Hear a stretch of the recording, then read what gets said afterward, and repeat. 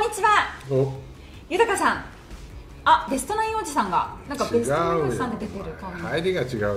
GM だから俺。えちょお前。何よお前。ちいきなり GM お前ちょっと困るよお前そんなんじゃお前。俺 GM だから球団のはい。一球団持っちゃったみたいな。思っちゃったよ。そうなんです。実はこの視聴者の方から豊さんのツイッターある質問が来まして。はい。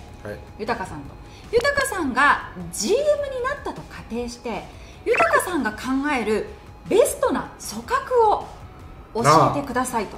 しかも1軍2軍両方お願いします。これ贅沢だよな。1軍まあ2軍まで考えるみたいな。まで。まあ1まあ GM だったら考えないかそうもな。そうで1軍だったらまあ誰しもやることですよベストそ組閣。2軍までとなるとなかなかねないので豊さん今日は GM 高木 GM としてでは組閣をお願いしたいと思います。まず、まあ、発表する前にどんなチームになりました？組閣的に言うと、やっぱその分野のスペシャリストうん、動画を見てる皆さんもはい。ちょっと知らないかもわからないけども、うん。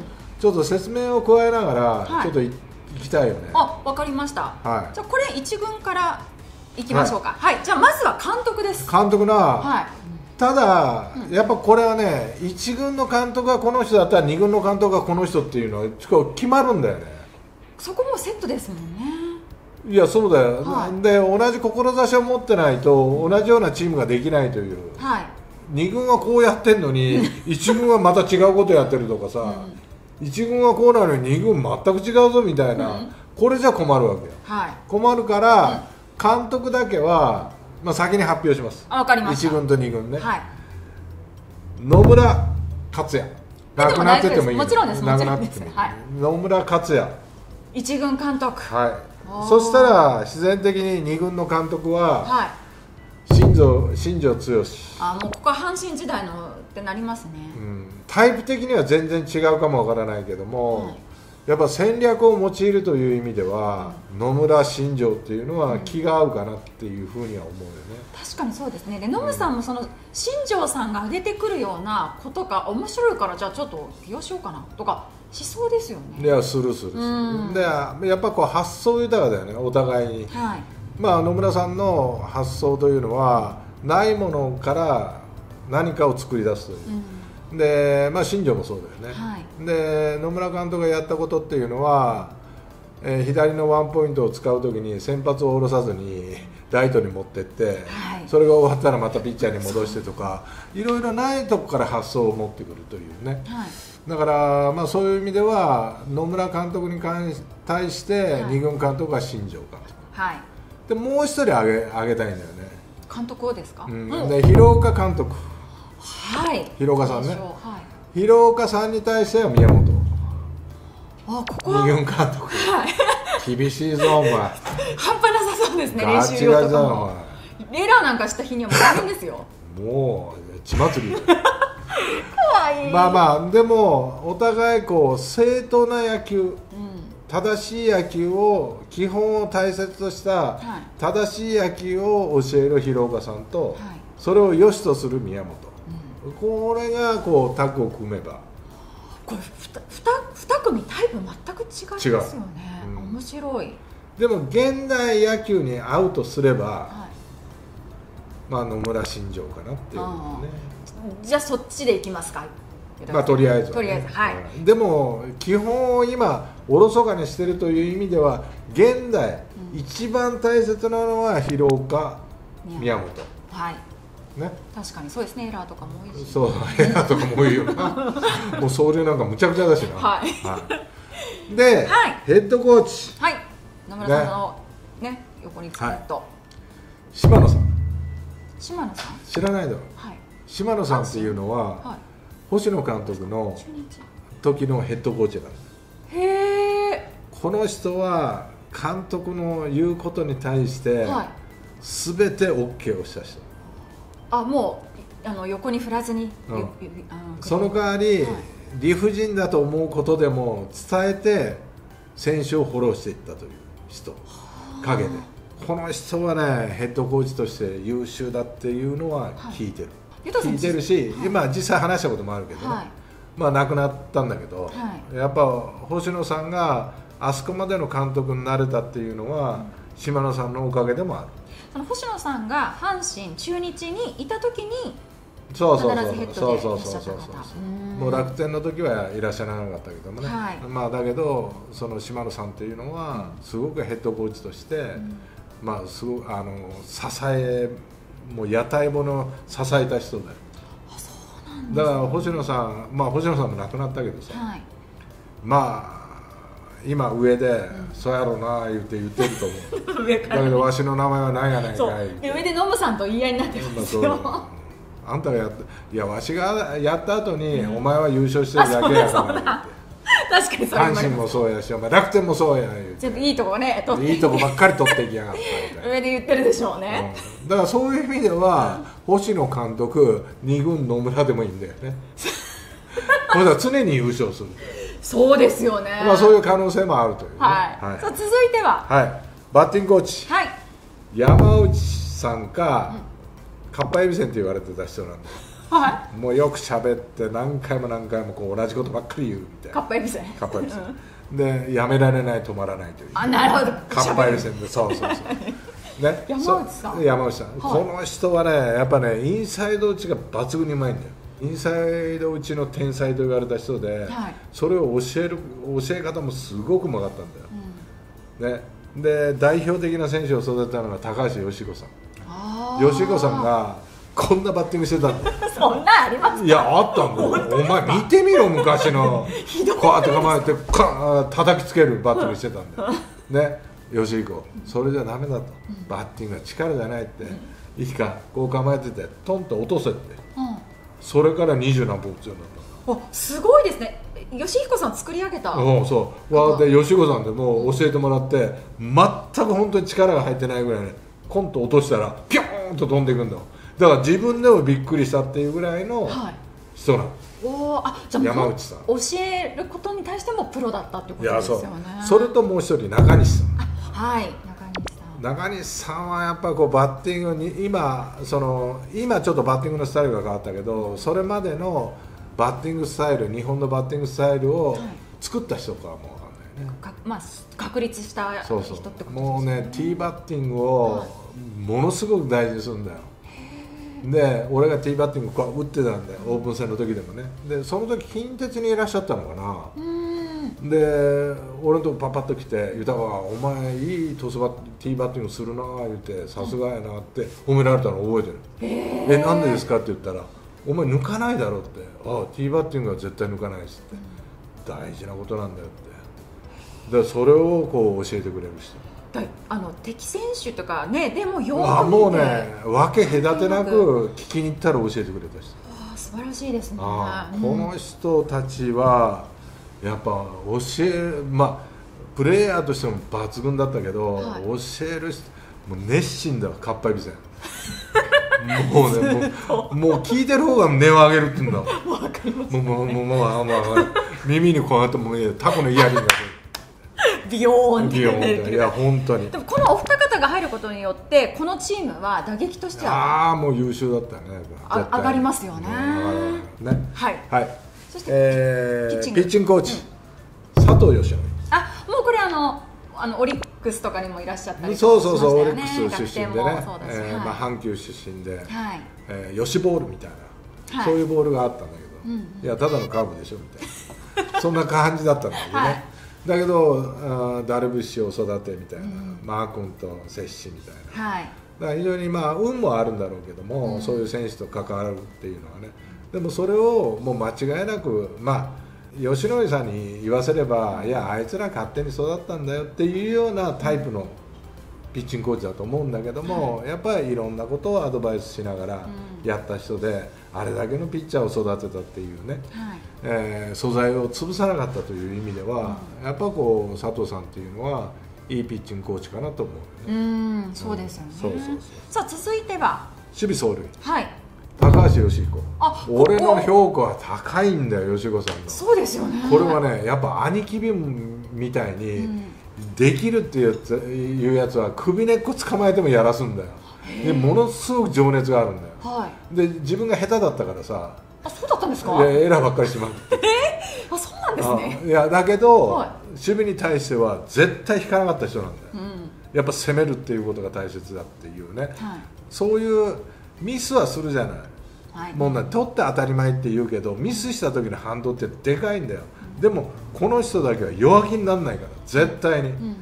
だからそういうことも注入しながらやっぱ基本もしっかりあの知ってる人だからね、はい。だから走塁もプラスすれば、やっぱ走れ高橋みたいはい。な、ね、本が出て出たぐらいだから、ね、そうなんですね。そうそう。でウィキペディアでは、はい。夜の盗塁みたいなのも書かれてる、そう、ねこっちの方は有名です、ね、もう昼も夜も走りまくってるから、そうですよね。いやいやでもね教え方もうまいんだよ。走塁盗塁とか。はね。いいか豊かって。俺も言われたことある、うん。豊か。お前ねちょっと一つ教えといてやるって。ね。スタートはどっちに切るって。い、うん。ね。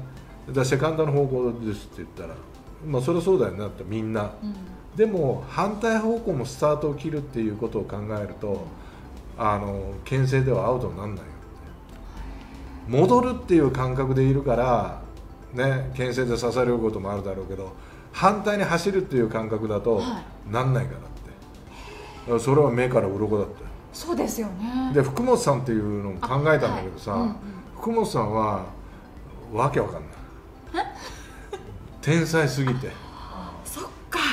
言ってることが異次と元ねもう福さん盗塁ってどうしたらいいですかって。いや目を見とけって。いや目見えないからみたいな。え？みたいな。わーって目を見ようって、目を見てねランナーを抑えててホームに行った瞬間に走れって、そしたら絶対投げるから。見えない。右ピッチャーはどうやって見ればいいんですか？いやだから見えない。でも福さんは見えてたんだよもうそれはなんかちょっと異次元ですよねそもう。だからそれは教えることに関してはちょっと難しいかなと。うもうそうですね実績は天才すぎてそうですね、うん。なので吉彦さんに処方したんですね。吉彦さんはい。でバッテリーコーチ。はい。古田。あ古田さんはい。やっぱこれはあの知的だし、うん。まあ、野村さんがやったとしたら、ね秘蔵っ子、はい。ね、考え方は一緒で、ね、あのキャッチャーとしては苦労しないはい。野村さんが考えていることを古田が伝える。うん。別にもう教えはいらないわけでしょ、そうですね、うん、だからそれをアレンジしながら教えていくから、まあ、この古田っていうのは伝え方もううまいし。はい。もうこねこはあうんの呼吸ですね。はい。さあ二軍。二軍行きましょだからまあ新庄監督ね。うそうですね、はい、野村さんに野村さんに対してはね、はい。まあ、広岡さんに対しては宮本だけどさ。はい。投手コーチあババッティングコーチ。はい。新井さん。新井さん。知らないだろ。高南弘さんじゃない南海にいた新井さん首位打者を取ったっていう、ね、PL 学園。だからこの人もこうやってシンプルなんだよ。こうやって構えといてポンと落とせみたいな。ほん先ほどポンといやいや本当に。本当に考え方がシンプル。まあ一郎を育てたっていう人だ。あそうそうそうそうそう、ねだからこういう人がやっぱ2軍で熱く指導してくれたら、まあ、選手も育つかなっていう。う、ん。ねはい。思うよね。新井さん。はい。でピッチングコーチです。投手コーチ、はい。吉井あもう吉井さんはね数々の。やっぱね優秀だよ彼は、うん。うん。やっぱ選手の気持ちを一番理解してるはい。ピッチングコーチだっていうふうに伝わってくるもんね、うん。それが藤川球児。おお理論的に。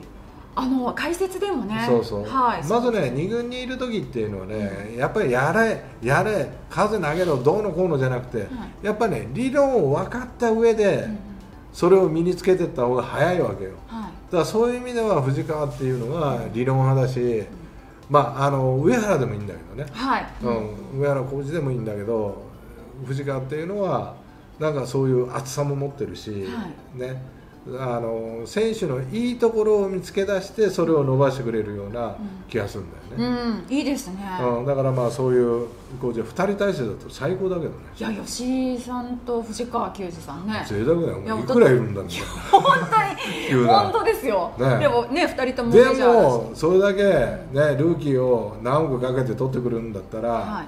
その何億が何十億になるように育てられる、うん。ね、ピッチングコーチで、はい。はい、守備走塁守備走塁取りたいあ鳥谷さん。はい。この子はね俺やっぱ練習を練習の虫。あそうだったんですね。だからまあ鳥谷と話した時に「お前は本当練習よくするな」っていう話をしてたら、まあ、それも素質の一つですかねって体が強いですって。うん。ね、いやそれだけでもすごいのに、まあ、ゲームにも出続ける、はい。まあ、例えば鳥谷と話した時にでも、やっぱり休みたい時僕だってありますよって。うん。雨で中止にならんかなって。でもどうせやるんだから頑張ろうって。って思ってこう切り替えるっていうんだよね、だからやっぱり2軍の選手っていうのはさそういうモチベーションをこうつなんていうの注入してほしいよね、うんうん。今楽をしようはい。とする、まあ、これはどうかわからないけども、まあ、例えば楽をしようとしている選手がいれば鳥谷を見るとね、はい。まあ、やる気にもなるし、うん。ただ、やっぱり技術的なことも確固たるものもの持ってるよね、はい。やっぱ守備もこうあの甲子園で守りきってるしさ、ね。ね、だから走塁という面では、ちょっとどうなのかなと思うけど理論はしっかりしてると思うんだよ。はい。だから鳥谷がいいかなって兄貴として、そうですね。うん。はい。はい、そしてバッテリー。バッテリーコーチは達川さん これはむちゃくちゃしてくれるから。すごそうですね二軍で。いやいやこれあの達川さんの発想って半端ないから、どういうところが？いやだから楽しませるし飽きさせないよ、野球をうん。練習とかも。うん。いやそのキャッチャーを教えるそういうことに関してはすごい真面目だよ、うん。真面目だけどあこれ飽きたなと思ったら目先を変えてくれるんだよね。だから同じことばっかり言うコーチっていうのはさつまんないじゃない、うん。で言葉のバリエーションもなければさ、はで真面目一辺倒で教えるなんていうのは、うん。つまんないわけよ、やっぱこう飽きるわけよ。はい。で他からも聞いてるわけよそんなことは、うん。でも達川さんはいろんな見識からものを言うから、だから飽きないの確かに。あの解説聞いてても飽きない。飽きないでしょ、もう時々わけがわからない自分で言っててわけがわからなくなるところも おかしいわけなの、おかしいわけ。それもいいわけ。ね、ね、はい。やだから達川さんなんかはすごくいいなと思うよね、おおじゃあ二軍のバッテリーコーチには達川さん。はい。そしてスカウトまで入って入ってきました。なな、はい。まあ GM だからな。そうです。文句あるんか？ないですないです。スカウトじゃ。ああスカウトはキーワさん。キニワさん。この方も亡くなったんだけどさはこの方は広島を強くした人なんだよ、いあの広島のあの黄金の時そうそうそうあそう。で小林さんに聞いたことある。ーはい。誰に一番感謝しますかって言ったら、やっぱスカウトだろうなって。で木庭さんの名前をねはい。出されて、うん。ああそうなんだと思って、で小林さんが横浜に来られた時にその木庭さんも一緒に来られたんだよ。はい。そして98年に優勝することになるんだけどもさ、木庭さんが全部取った人なんだよ。すごいすごいんだよやっぱり。こう人脈というか、はい。眼力というか、うん。木庭さん俺も話したけどね。あそうなんですね。いやそりゃそうだよ。そっかでいやだって俺一緒にやってるもん。そっか。だから今度いい選手が来るよって、うん。うん。楽しみにしてなって絶対強くなるからなってうんうんうん言われてて、はい。で俺はもう引退した後に優勝したんだけどさ、まあ、まあ木庭さんにはでも俺もやっぱこう感謝してるというああそうなんですね、さあ実ははい。私も考えました。もういいよな。私もちょっとずざっと駆け足で、はい。まあ私一軍だけなんですけれども、は私はもう監督はちょっと落合さん。一瞬今次の阪神の監督落合さんにオファー出してんじゃないかみたいなのも出てましたが私はもうやっぱり落合さんですね。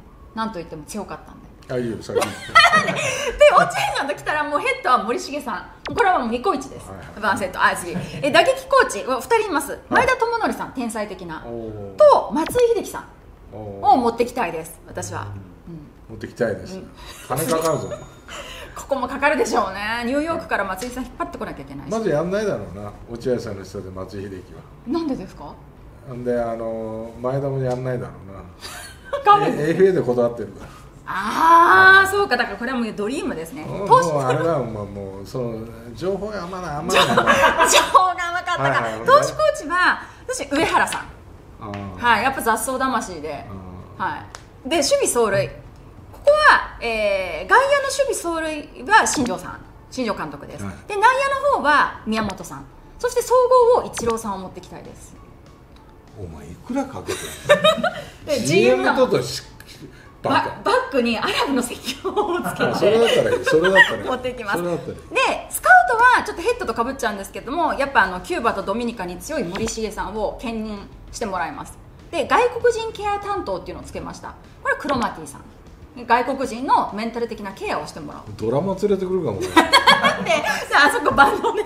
バンドで全然趣旨が違っちゃいますよねこれは、ええ。っていう、まあ、ちょっと有名なね一野球ファンとして。あまず喧嘩が始まるなチームよりもチームよりも喧嘩ふわ。マウンマウント取り取るのに。もうベンチで怒号が飛び交う感じですかもうね監督の言うことなんか聞くようなやつは揃ってないもん。ダメですねじゃあこれね。はい